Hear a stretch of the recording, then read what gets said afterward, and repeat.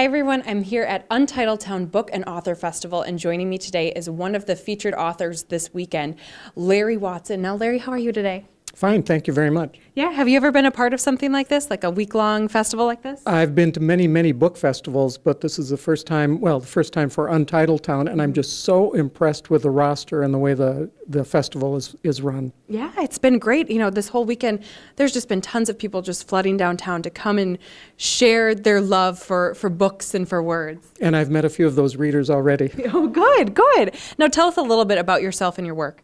Well, uh, I, li- I live in Milwaukee. I teach at Marquette University, and uh, I'm here mostly publicizing my most recent novel, As Good as Gone. It's my 10th novel. And uh, as I said, I'm happy to be meeting readers and talking with other writers. Yeah, and talking with other writers too. How, you know, as a writer, how important is that for you? Well, it's it's a wonderful opportunity to feel as though you're part of a community because, of course, writers are writing in solitude, and then you meet other writers and have a chance to trade tricks and tips and things like that. Mm-hmm. And there's lots of different panels and discussions that were happening all weekend long.